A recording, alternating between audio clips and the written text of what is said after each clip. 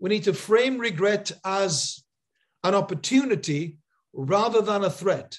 And if we do that, it helps transform regret from this heavy burden that most humans carry to something more like a provocation that prods us towards something better in our lives around the area that we are likely to park up in if we don't take the seed out of it and get better because of it.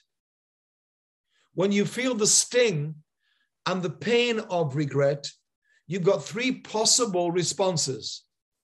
You can either bury it, which most humans do, i.e., no regrets tattoo. You bury it, which is denial and delusional.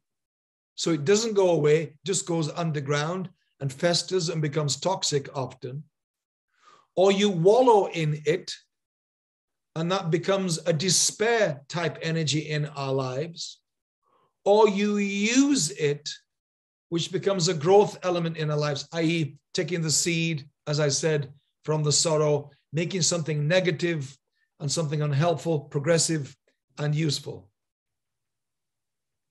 So, what I'm advocating we do is we use regret to create some kind of chain reaction that we go from that we go from the aggravation that regret brings, because all regrets are aggravating, but we move beyond aggravation to some form of activation that creates expansion in and through our lives. All of that is an option every single day with regret, but you have to be intentional to make it become one or the other. I think default is threat and fear, and intentionality and regrets by design are the ones that we have to be intentional about making pay itself forward to ourselves and through our lives to others.